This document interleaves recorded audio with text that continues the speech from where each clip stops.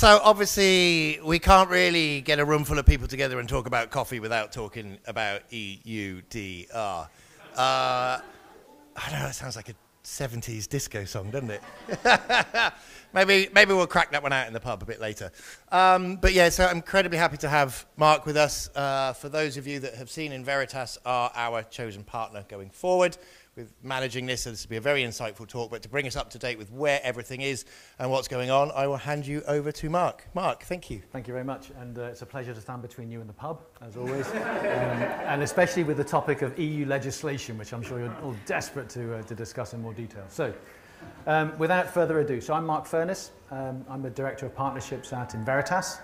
Um, you may not uh, have heard of Enveritas. Some of you may, some of you may not have. Um, but we are a, um, a sustainability uh, assurance uh, uh, scheme. We're an NGO. Uh, we're a US-based NGO. Uh, and we've been in existence since about 2017. Uh, my background is in the coffee trade. Um, so I was with Volcafe for 22 years um, in various roles. So I was in East Africa, West Africa, Asia a couple of times. And I was in Switzerland, which is the head office for, for Volcafe, for seven years. And that was when I first came across the topic of sustainability in coffee. Um, I think I was late to a meeting in 2006 and got given the job of Director of Sustainability for Volcafe, which was deeply unpopular at the time. Um, and traders really saw sustainability as a threat and had yet to recognize the, the opportunity it could present. Um, really at that time, it was a, what was happening was um, a, a, a build-up of certification, so a reaction to the period of low prices in the early 2000s And the response to that by the industry, by trade, was certification. So you saw a huge uh, rise in the, in the rainforest and fair trade and 4C at the time. I sat on the board of directors of 4C for seven years. Time I'll never get back. And, um, and that really sort of was the, the, the, the picture. Um, there's a couple of problems for the trade with certification. Uh, and I tell you this, just a little bit of background to Enveritas. Um, it's an awkward position for the traders to be in because on one side you know that it's an imperfect supply chain, and it's an imperfect world. Um, coffee's being sourced from you know, exotic locations with all sorts of different issues. And on the other side, you've got a shiny corporate that uh, demands no child labour. And those two things are difficult to square. Um, and what we saw more and more was you know, activist film crews were very easily finding you know, cases of child labour on farms in Honduras or, or Indonesia, but auditors didn't. Um, and, and there was something sort of not quite right with the, with the, with the, we could see with the certification system, which works very well on organised farmers, but wasn't working quite so well when we stretched it to cover more or less organised supply chains. Um, and so um, I asked to be taken off the role of sustainability director in about 2013 and given an honest job and sent back to making money out of trading coffee. Uh, and I went back to Singapore and, uh, and was director of Asia for Volcafe for another five years. Um, until uh, 2018 when I was asked by the founders of Enveritas to join a NGO startup uh, focused on sustainability, in which case I said, absolutely not, it's all nonsense and I'm not interested. And then they explained a little bit about what Enveritas was and uh, it intrigued me. Um, it intrigued me because it was addressing the issues that I had come to understand were the truth um, in the supply chain. So things like uh, the reach of certification. Uh, we were finding that farmers along the main road or conveniently situated to the trading centres, they would get double, triple, quadruple certified rainforest cafe practices, you name it.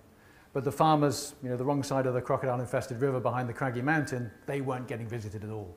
And that was probably 90% of the farmers in the country. So you had a real uh, inequality between farmers who were receiving support and good agricultural practices and, and you know, improving their sustainability situation, and most farmers in the country that weren't getting those, those issues. Um, things like the stability of the supply chain um, was always a little bit of a problem for me.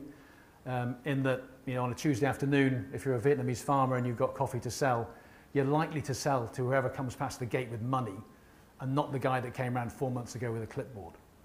That's just the way supply chains tend to work in, in less organized uh, origins. And then a bunch of stuff around the methodological issues of, of certification and square root sampling technology, um, the timings of the audit, you know, in harvest, out of harvest, um, the advance notice given for audits, audits. All these things sort of led up to the conclusion that, that, that it wasn't really uh, uh, fit for those unorganized supply chains. Um, so Enveritas was conceived to sort of address some of those issues, and I won't go too far into that, um, just to say that one thing we didn't change was a code of conduct. So there is still, we do assess a code of conduct. Um, it is pretty much what you'd see in Rainforest or Fairtrade or, or, or 4C or, or, or, any of the other codes of conduct, um, in that it's the consensus of civil society opinion on, on what constitutes sustainability. So what is child labour? What is that underpinned by? The ILO conventions, the UN treaties. All of that thinking has been done, and we didn't think that was our job to, to reinvent that particular wheel. Um, what you'll notice there is that deforestation does appear. Um, was, there was a consensus of civil society opinion on what constitutes deforestation. Um, it was, in, in essence, in the last 15 or 20 years, has there been degradation or cutting down of protected areas? And if there has been forest removed, has it been done legally or illegally? That was pretty much what was in most of the codes of conduct uh, up to a couple of years ago. What we really changed was the way we assess that code of conduct. So if you don't have a stable supply chain, um, if you don't know where your coffee comes from, how do you assess the conditions under which coffee is being produced? So we developed a, an AI algorithm that takes a satellite scan of the country and identify what looks like coffee producing households, uh, so rural households next to a coffee field. Um, and we then take a sample of that um, and we go visit that farmer. Um, and we knock on the door and the first question we ask, unannounced, is, are you a coffee farmer? Um, and if the farmer says yes, the machine learning algorithm learns. And if the farmer says no, the machine learning algorithm learns. We'll do that 99,500 times this year across 27 countries in the coffee world to gather data on the conditions under which coffee is being produced. Totally anonymized, that there's no consequence for that farmer to, to answer our, our, our survey. He doesn't have to have to answer the survey. Um, we have about a 3 to 4% non-response rate. We try and understand why that happens as well. Um, But it, what it allows us to do is to then demonstrate the risk of, the risk of child labour, the risk of uh, banned pesticide use, the risk of poor soil, poor soil conservation uh, practices, whatever in that, in that, that code, um, the things we measure. We also measure agron agronomic and demographic uh, criteria so that we can start to correlate that with, you know, is it typically older farmers with a larger plot who are employing children? You know, th that sort of correlation you can then uh, start to uh, establish. Um, we roll that out across 27 countries now. We go every year uh, in harvest to each of these countries. And we take a, a sample large enough that it is statistically significant at around about the 10,000 farmer level. So that when roasters then uh, say where their coffee came from, we can start to zoom into different parts of the country and say, well, if all you know it came from Guatemala, we have an answer for the conditions under which coffee is being produced in Guatemala. If you know it came from Huehuetenango, we can zoom in on Huehuetenango. And if it came from those three communities in Huehuetenango, we can zoom in there. Um, it's been relatively successful. Um, so this is the traded volume of, uh, of certified and, and verified coffee under voluntary sustainability schemes over the past uh, five ten years. Um, and we are currently the largest scheme in, in coffee. Um, and we've come pretty much from nowhere, um, but we've been we built a model which is relatively attractive to larger companies and smaller countries. And those are some of our, our clients. Um, so you recognize some of the, the you know, big ugly industry. Um, JD Peet's, Tchibo, uh, largest roaster in Germany, um, Smucker, the owner of the Folgers brand, um, and then some of the, the well-known uh, medium, medium-sized roasters, but also the direct traders, so the, the, especially the US specialty sector. They love it because it answers a lot of the questions about is direct trade actually achieving anything? Because we can go into their supply chains, run the same survey, measure things like barn gate price, and see whether the, the premium they're paying is reaching the farmer. Um, or do those farmers have better conditions? Do they use less child labour? Do they use you know, less, less pesticide? Whatever it is that the, the premium is being paid for, is it actually happening? Is the needle moving? We can compare that to the counterfactual of all the farmers in the same region who are not in their, their supply chain because that's the data we're collecting every day. So, having said all that, uh, a couple of years ago uh, we noticed a new uh, legislation being gazetted uh, in the EU on deforestation and what we anticipated being able to do was to repackage the deforestation data we already had in, on file, put a little bow on top, hand it over as a risk assessment to roasters, that would be their due diligence. Um, and they'd then understand where the higher risk or lower risk of deforestation was. unfortunately, that's not how it worked out. Um, so the definition that the EU has for deforestation is fundamentally different from the definition that civil society had been working with up to that point. Um, so any half hectare of forest, and forest is defined as uh, half a hectare with more than five metre canopy height, 10% canopy cover. I'm sure you've all heard these uh, definitions by now. Any area of forest that is deforested cannot be planted with one of seven commodities, and that commodity cannot then be, well, can, can be planted, but that commodity cannot be imported to the EU once it is mature. So a very specific definition of what deforestation is in the terms of the EUDR, in terms of the legislation. So last year this was next year's problem. This year it's very much this year's problem, and there's a, a crescendo of, of interest now in, um, in what's going on. We've been working on this for a couple of years now, um, and I'll show you what we've been doing on it. Just to give you a sense of the sort of the, the, the preparedness of, of major industry, um, I was talking with the COO of, a, of a, a company called Strauss, which is actually the fifth largest roaster in the world. They do a lot of Eastern European um, brands. Um, they also work in Brazil and, and Israel.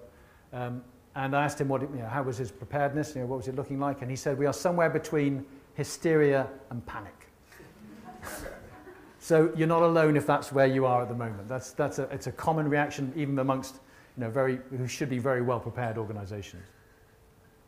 Um, this is the map that the EU probably had in mind when it first included coffee in the list of seven restricted commodities. This is Global Forest Watch. It's done great work over the last 10, 15 years in highlighting where deforestation is, uh, is happening, where forest loss is occurring, where tree loss is uh, occurring. Um, and the concept's pretty simple. Um, there is a, a, a tree cover layer in green. Where that tree cover goes, where it's removed, then the, uh, there's a highlight in pink.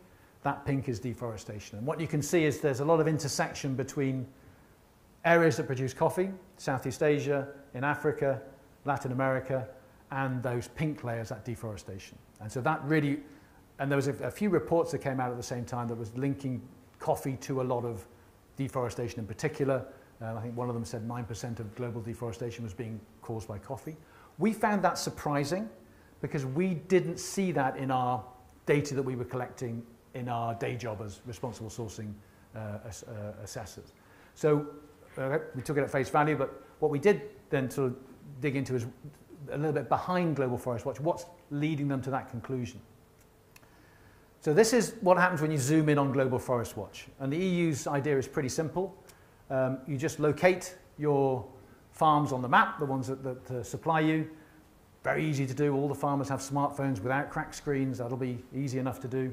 Um, you pass those to your supplier and that goes up the chain and eventually you get a list of farmers who've supplied that coffee that you can give to the EU IT portal traces and they will be able to check that there's been no deforestation. That's part of your due diligence. There's a couple of things you'll notice about this map. Um, the back layer, the, the wallpaper, is quite granular. And that's, that's half meter satellite imagery, um, probably from Maxar or Planet. The deforestation layer in pink is more granulated, it's more pixelated. Um, and the reason it's more pixelated is that WRI, World Resources Institute, which is the organization behind Global Forest Watch, they don't have the right to use the half meter imagery for analysis. They can use it as wallpaper, but if they start to crawl their AI engine over that data, they will get a cease and desist letter um, very quickly, something we found out about 18 months ago. Um, and what they do use is a thing called the, the Hansen data set, which is the Landsat satellite system, and that's a 30 by 30 meter satellite system. It's been around for a long time, um, it's done great work, um, but it is less granular, and I'll give you a sense of just how less granular it is in a second. So three questions you have to answer if you're going to import coffee to the EU or export coffee to the EU. First of all, is, is the land where that coffee is produced, is it, uh, was it forest on the 31st of December 2020? Um, or was it a tree crop? Because it could be pepper or palm oil or cassava and converted to coffee, that would be fine. So if it's existing agricultural use, absolutely fine. It's only if it's EU-defined forest on the 31st of December 2020. So you need to be able to, able to answer that question. Secondly, if it was forest, has it been subsequently deforested? And if it has been deforested, has your crop been planted on it? And if it has, is it sufficiently mature to produce crop that could go to the EU? Because if it can't, it's by definition currently compliant. So immature coffee cannot produce coffee that can be formed part of a consignment to the EU. So those are sort of the, the, the, the tests you have to, to uh, address. First question, is it forest or is it tree crop? So that is 30 by 30 meter satellite technology. In that image, there is a tree crop and there is forest. And I'll give you a moment to tell me which one's which. So what you'll very quickly recognize is that there's not enough information in that image, either visually or algorithmically, to determine what is tree crop and what is forest. So the EU recommends, but it does not require, that you go to 10 meter resolution satellite, satellite technology, so Copernicus, Sentinel systems, which are EU satellite systems. So that's the same image at 10 meter technology, and I'll give you another moment to, uh, to tell me which one's which. And again, there's not enough visual or, or, or algorithmic information in that, in that to, uh, to determine uh, the, uh, the forest and, and the tree crop. We pretty quickly realized you were going to have to go to the half meter resolution in order to be able to make that distinction. And in each of those 30 meter pixels uh, in Landsat, there's 3,600 of the half meter pixels. So it's, a, it's an exponential increase in data. So what you've got now is enough data to run through an AI model and come to a, to a conclusion on what the, uh, what the crop is. In this case, palm oil on the left and forest on the right. All right, so second question, if you now determine what is forest and what is tree crop, has it been deforested? So that is um, a coffee plantation in Vietnam, uh, in Dak Nong. Um, you can see that on the left you've got the coffee plantation um, uh, a couple of years ago. It's actually 2021. That was then renovated. Um, what the satellite sees there is something, or what, at 30 or 10 meter resolution, you see something green turn brown. That is then misinterpreted as, as deforestation. So you can see the, the Global Forest Watch at that point ping that as a deforestation case. So if you're using Global Forest Watch for your assessment tool to say whether something is deforested or not, that would now be non-compliant coffee. and You would have to do further due diligence to establish whether that was true or not. This problem with false positives is widespread, and I'll give you a sense in a moment. Um, so the third question you need to answer, well, if it was forest and it's been deforested, has my crop been planted? Because if, if you planted cabbages, the EU doesn't care. It's only if you planted coffee or cocoa or soy or rubber or uh, palm oil or there's a couple of uh, beef, timber. There we go, all seven. Um, and, is it, and, and, that crop is now compliant. Um, so this is the task that um, agri-tech has genuinely been using AI and satellite imagery for for the past 10 years or so. Um, it's detecting things like corn in Iowa. Very carefully delineated crop boundaries, manicured farm boundaries, no canopy cover, a monocrop. Uh, similarly with palm oil, it's quite easy to detect uh, from satellite imagery. It's a monocrop, uh, there's no canopy cover, cover, all those things that could confuse um, an AI model. But with coffee and cocoa and rubber and forest in the tropics, this is what the satellite imagery at half meter looks like. And that's if I gave you the half meter. I gave you the 10 meter, it looks like that. And you can't take anything from the color because the color will change depending on what time of day the satellite goes over, uh, soil moisture levels, time of year, etc., etc. So all sorts of different factors playing in there. But what we realized at this point is if you're going to build a, an, a model that can, that can actually determine which one's which, we were going to need an exceptionally good AI model, which is something luckily we've been working on for the last seven years. And we would need to back that up with ground truthing because a machine learning model can't learn unless you tell it when it, when it got it wrong and when it got it right. So we have a team of around about six to 700 people at the moment checking. So going to GPS points in coffee producing, cocoa producing areas of the world, especially where the model is confused and saying, no, this is cocoa. No, this is coffee intercrop with cashew nuts. No, this is bare land. What are, what are we finding? There's so many use cases that you can, you can think of. And we rebuild those models for every country because coffee in Indonesia looks coffee different to coffee in Brazil and looks different to coffee in Ethiopia. So that model needs to be rebuilt for every country we analysed. And the output is something like this. So this is a satellite image of Dak Nong uh, in the Vietnamese highlands. Um, it's probably one of the most intense coffee producing regions in the world. Um, uh, you know, Central Highlands of uh, Vietnam, huge Robusta production. Um, most deforestation there would have happened in the late 90s when the, when the, uh, uh, uh, the crop in Vietnam was expanding rapidly. Um, when we run that through the model, and the blue is coffee, you can see that the, the fields light up. So at half meter resolution, with good AI models and ground truthing support, you start to get a sense of what's really going on on the, on the ground from satellite imagery. This is the first time this has been done. The red polygons are rubber. There's some rice along the riverbeds there, and there's some forest in the south. Interesting, you can see that a bit of that forest in the south has been hollowed out. There's some rubber plantation gone in there, and actually a couple of coffee fields as well. If that happened before 2020, absolutely fine, that's compliant. If that happened after 2020, that would be um, not elig eligible for export to the EU. So one of the systems that the EU recommends uh, to use, so the JRC, the Joint Research Council of the EU, recommends a tropical moist forest map to determine where the, the, the forest layer is. So this same area looked at through the lens of the tropical moist forest map, and remember, green is forest.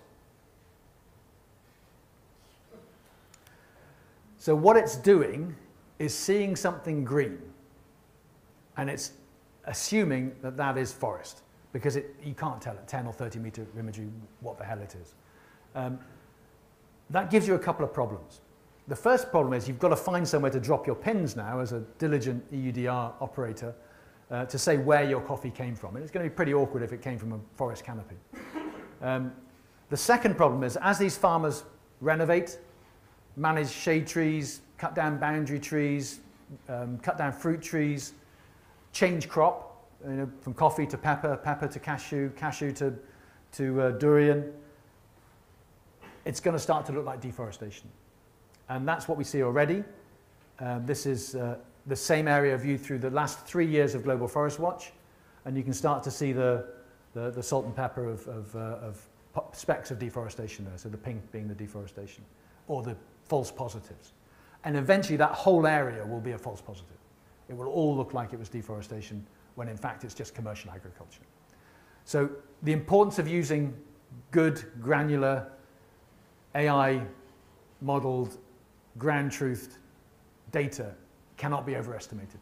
You will pretty much have no chance of establishing whether it is forest or coffee unless you're using that, that, that, that system. Um, just to give you an example of, of, of the difficulty here. I was in Uganda 10 days ago. Um, I spoke to one of the largest exporters in Uganda. Um, they said they're using uh, Satelligence to, to, um, to uh, assess their list. They put a, a 20,000 farmer list in, in Uganda.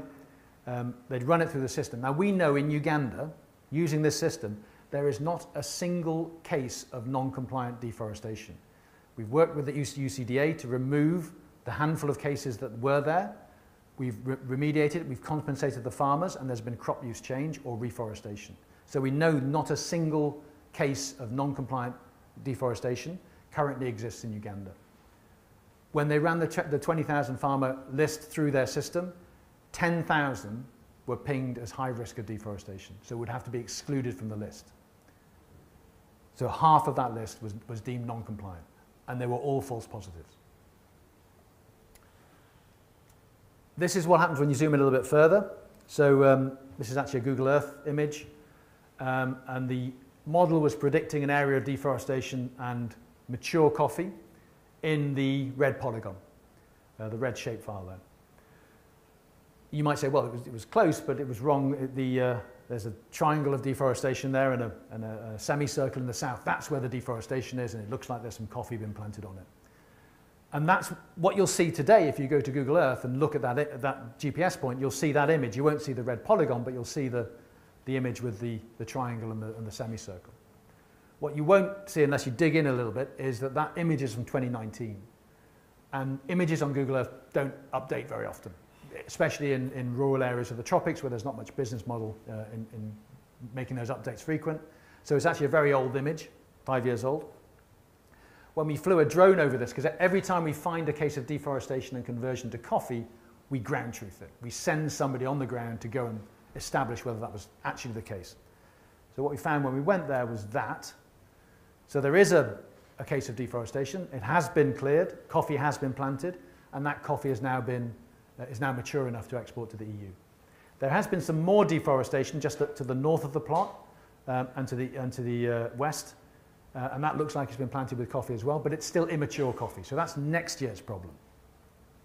And there's been some deforestation to the south. That's still uh, bare land. It's likely it's going to be coffee at some stage, um, but at the, at the, moment it's not.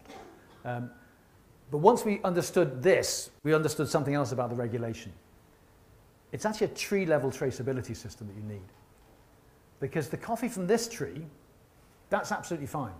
That can come to the EU, but it needs to be segregated. You need to take that coffee and um, take it to, to the drying patios, dry it separately, take it to the hulling station, hull it separately, take it down to Ho Chi Minh, put it through the dry mills, stop the dry mill, start the non-compliant run, stop the dry mill, take out the compliant coffee, get ready for the non-compliant coffee that's coming from this tree, which is six feet away, and probably produced by the same farmer. So that traceability system needs to be in place, or you as an operator in the EU or an exporter uh, who has a customer in the EU, you are going to be uh, in line for a fine, is what the EU is saying essentially.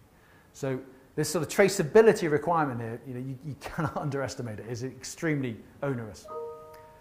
What we also realized when we got this data back, when we understood how many cases of non-compliant coffee there were, we found that there were very few. And we were not surprised by that. We just couldn't prove it before we had the data.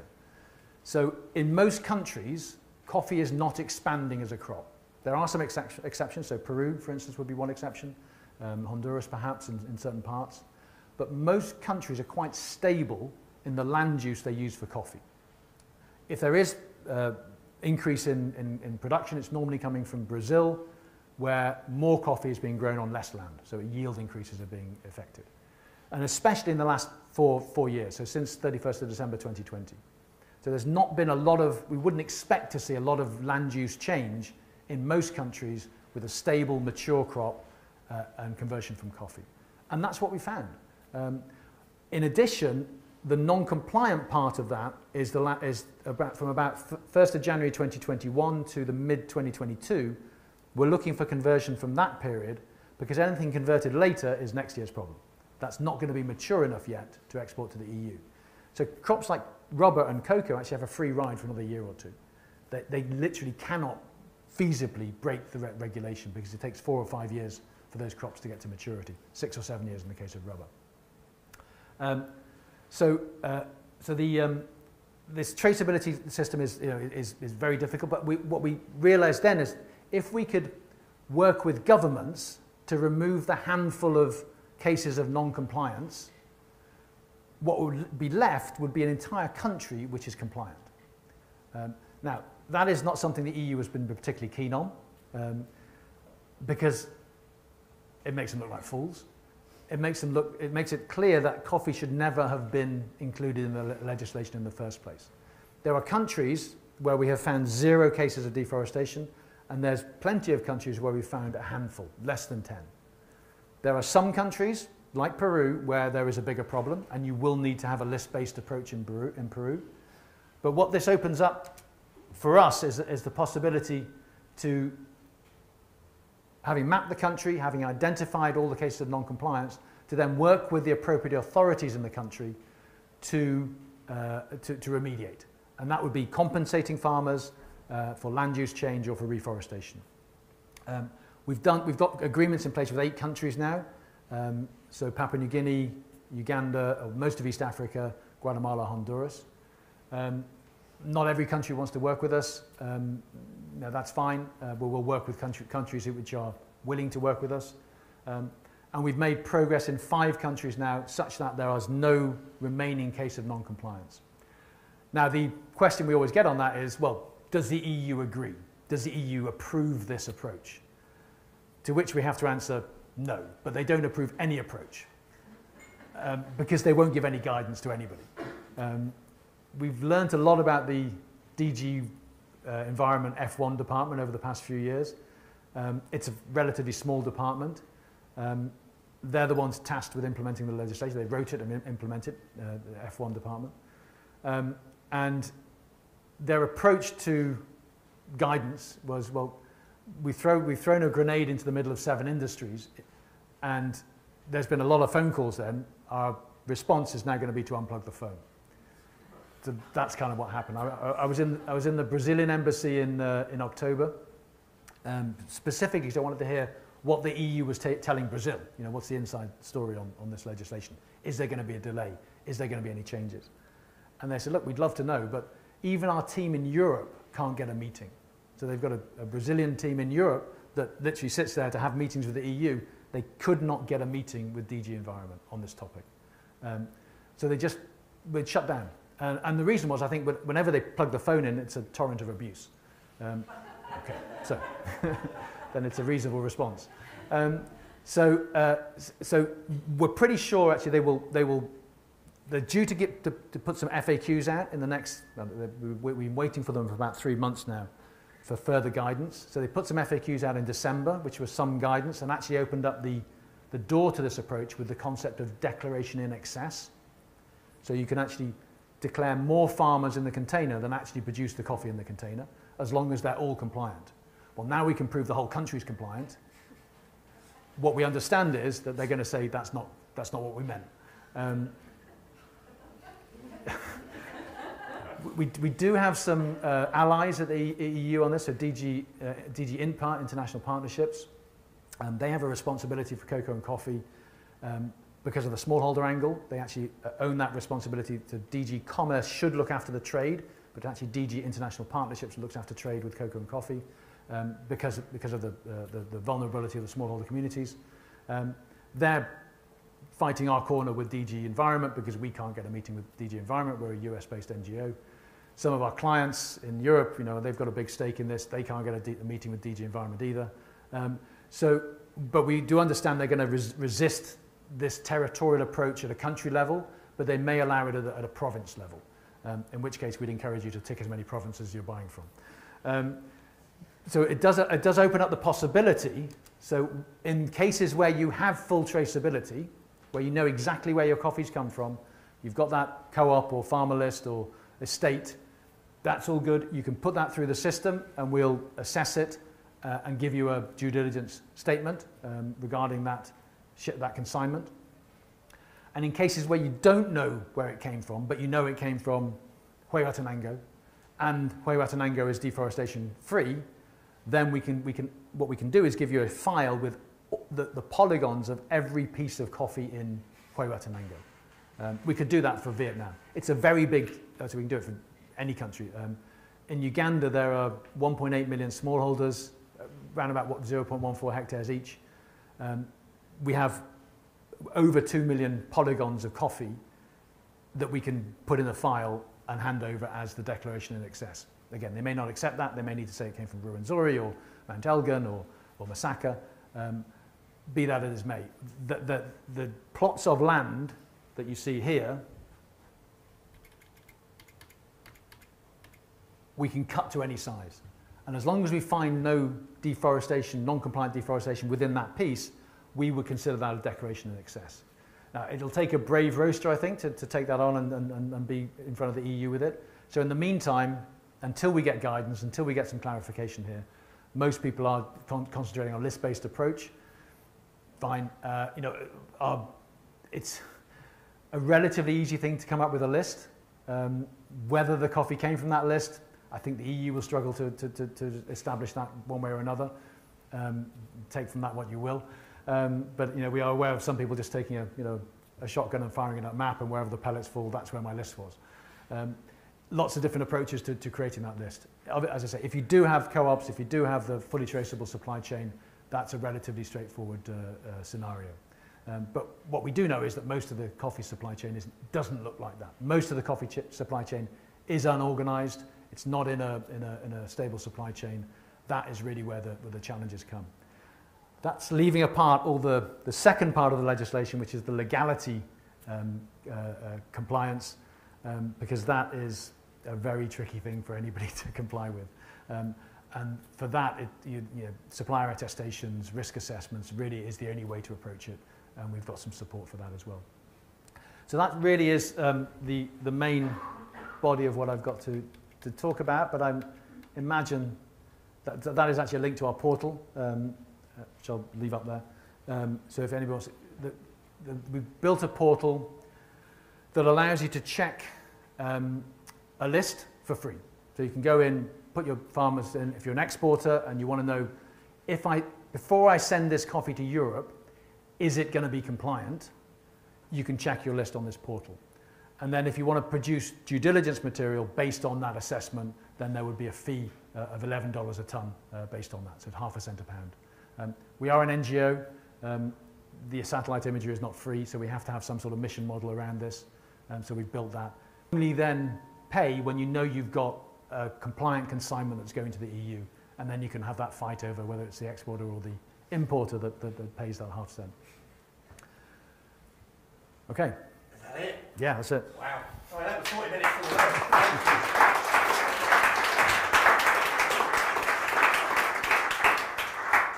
I'm anticipating one or two questions here.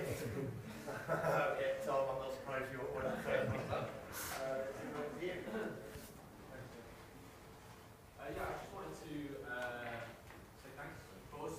Well, know that we are. Um, the regulations apply to both green coffee and roasted coffee. Obviously, everyone in here based in the UK is a roaster. Um, so you will need to look into this if you are shipping coffee from the UK to the EU. We're working with Enveritas at DR Wakefield to make our UK and EU supply chains EUDR compliant. So we will have all the information you need to ship any coffee into the EU from the UK. Um, so do reach out if you're, you've got any questions about this.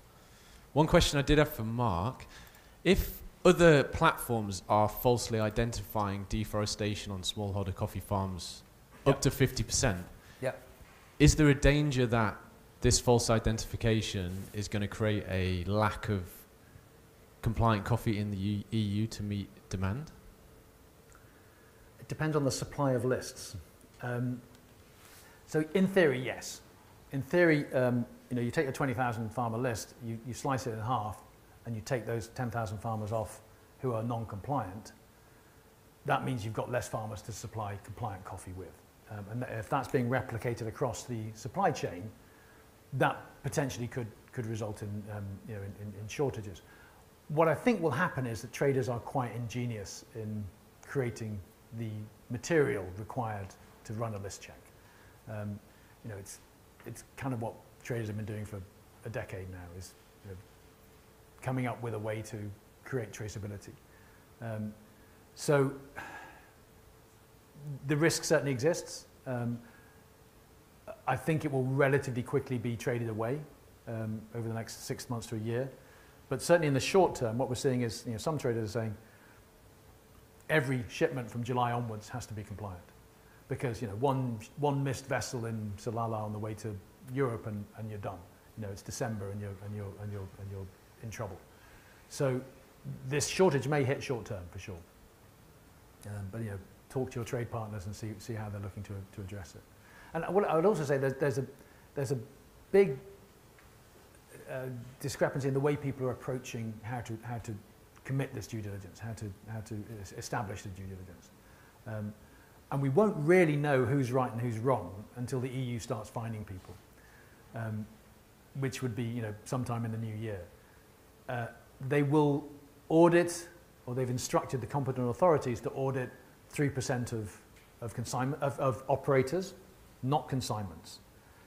So there's a, there's a common misconception there that it's going to be 3% of consignments will get audited. That's not the case. It's 3% of operators will get audited. And that's likely to be JDE and Tchibo and you know, bigger players. You know, somebody sending a, know, a couple of kilos of roasted coffee on, on, by DHL to the EU, you should probably have your paperwork in place. But honestly, it's unlikely you're going to have you know, a competent authority giving you too much of a hard time about that, at least in the, in, the, in, the, in the short run. And there is some delay in the legislation for small, medium-sized enterprises, which is defined as a, I think it's an entity below a 20 million euro turnover, um, which takes a lot of people out of the market. Traders tend to get caught because you have a big turnover, small margins. Um, but uh, yeah, so it's, it's going to be interesting. Um, I have a little question as well, just on. I mean, I loved your example of the, the tree either side of the line. Is there, like, wh- wh- where's where's the I guess the burden of proof? You know, if that farmer takes the tree from one side of the line, walks over to the other side of the line, and says it's that side of the line, how do you know? How do you know? You, you, you, so you don't know. Yeah. Um, you know, you can't barcode a coffee bean. And it, I, I, mean, I, I was at a, a conference last year where they were talking about scientifically they can they can give you that DNA data, but the Nagoya Protocol Yeah. means that they can't get the data they need in order to give you that data. Has that any of that sort of snafu been recognised within the EU, or So it's not. I mean, that is pretty. I mean, we've looked at some of that as well. You know, to solve the traceability issue, you know, to, to go back to source, look at the. Uh, there's some um, near infrared technology you can use to also to determine the molecular makeup of a bean, and Mm. maybe it's slightly different in this province to that province. To get back to farm level is beyond the, the ability of science at the moment. Um, so I, I, it's not really feasible to scientifically trace a bean to a tree yeah? um, or genetically, um, or at least in a, in a way that's remotely um, commercial. Um, so really, it's going to be up to the to the operator to do the due diligence. So the, the burden of proof is very squarely on the operator. And then there will be a derived burden by everybody else down the supply chain to, to provide that to the operator. So it's going to be up to him to decide what constitutes adequate due diligence. Um, so it could be as, as much as the supplier saying, I definitely came from this group of farmers and they definitely complied with the law. Um, and and my, here's my signature, and it, by the way, it's in the code of conduct and the supplier code of conduct. That may be enough. Um, and uh, what I don't think will be enough will be to say, and the supplier definitely says he didn't deforest. Yeah. Because that is sort of empirically provable. Um, and they have, in the legislation, it does, you, do, you are required to use some sort of system to, to establish that. Uh, so I don't think any operator will accept.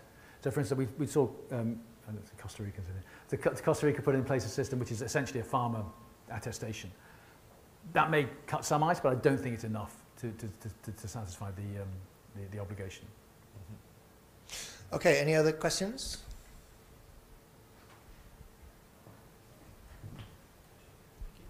Uh, I'm going to be careful to word it so I don't get too political. Um, so, with this being an EU regulation, something that the EU is implementing, generally with other um, environmental um, legislations that the EU are pushing through, the UK's target tends to be around 15 to 20 years after. with the possible change of government coming in the next couple of days, is there any news or, or like insight you can give on when the UK will implement this as like standard? Is it involved in any specific party's manifesto or just generally UK regulation? So there's nothing I'm aware of in a manifesto. Um, there was a, we were due to actually attend a UK parliamentary information ses- session with JDE um, in April, and that got postponed. Um, and then it got postponed again, and now it's been postponed, who knows when. Um, so the, EU, U, the UK Parliament is certainly considering it. The guidance we had at, the, at, at that time is that they were possibly not going to include coffee in that legislation, which would obviously, I think, would be a sensible um, response. Because there are other crops that are not included in the EU legislation, wheat, for instance, which is much more of a we- What we, what we now know is every single piece of deforestation in the world, or in the tropics, we can now look at what land use subsequently came. And I would not want to be exporting soy or beef to the EU from anywhere in Brazil uh, at the moment, put it that way. Um, but exporting coffee and cocoa and, and rubber, they, they shouldn't really be concerned. Um, but I would hope that the UK takes a, a nuanced and sensible approach and, and actually gathers a wider variety of stakeholders with views before they make that decision.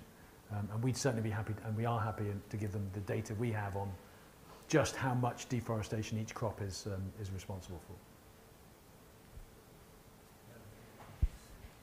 Um, do you envisage a scenario where the EU keep their head in the sand for so long 2025 rolls around and people start getting hit with fines, and consequently only EUDR compliant coffee can be imported into Europe, and there's a lack of it on the market, and it starts to affect the futures markets.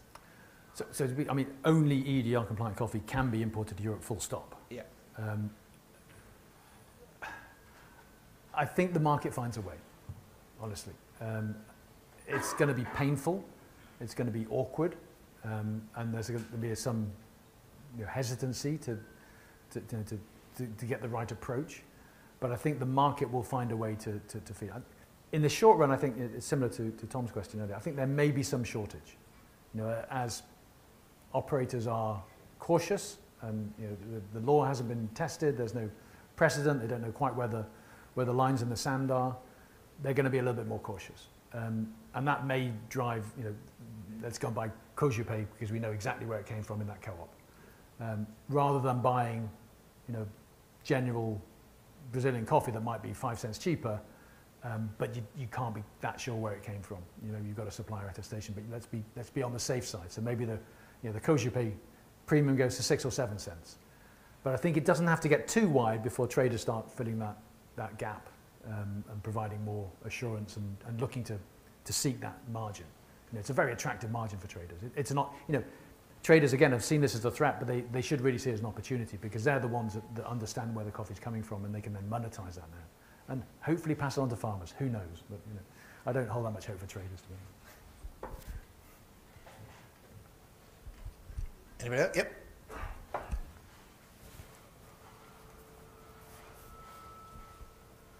Thanks very much for um, yeah, a very clear run through of extremely complicated topic. Um, I just had a question on, um, I think I've understood correctly, um, when you used the example of Uganda and um, uh, there was there were some instances of non-compliant um, coffee farms being identified Yeah. and um, that those farms were then required to um, uh, diversify into other crops. And I just wonder if you could explain a bit more about that process and Yeah. how is that something that you've worked with the governments of those countries to enforce?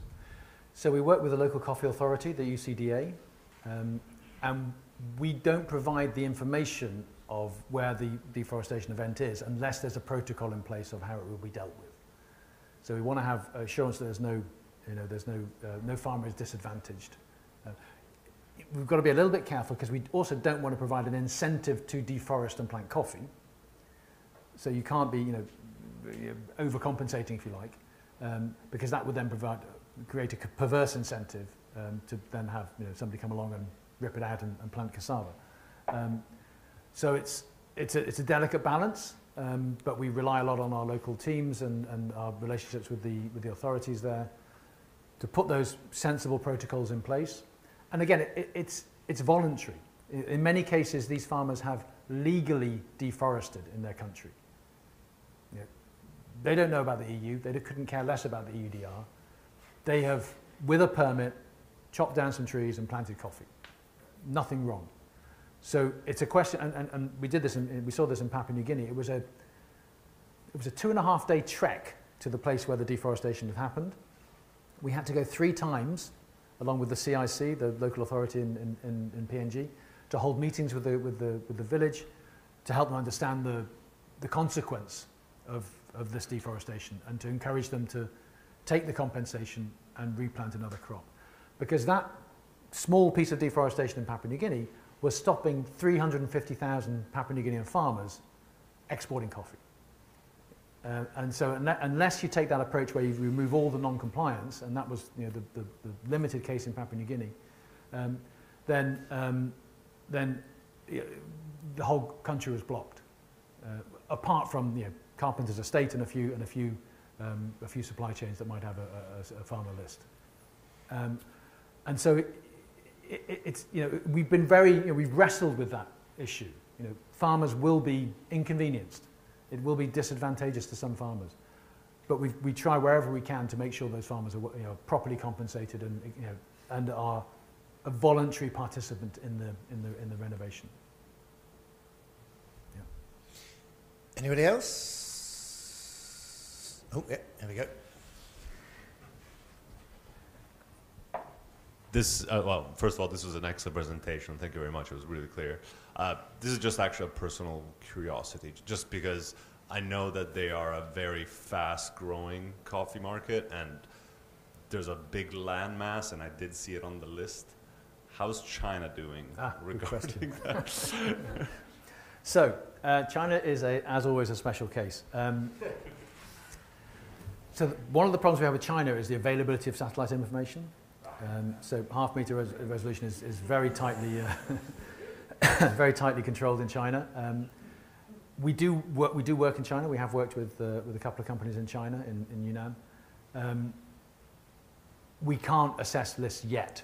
We will be able to in about two months' time, um, because it, it I mean, it, it was rapidly growing in the 90s, 2000s. It hasn't really rapidly grown since.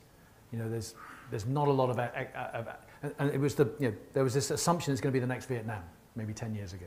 And it's going to be, There you know, was a boom that considered that. yeah, but it's sort of topped out at a million and a half bags or something. It's not, I mean, it's not a huge producer and, and it hasn't really done much since. So I don't think we're going to find much in, in Yunnan, maybe a little here and there. Um, but most of the, the, the, the land you know, that is suitable for coffee is already growing coffee or tea or, or something. Um, so it's, um, yeah, it's a special case. Okay, well, I think we've reached the end. Mark, thank you very, very much. Very interesting.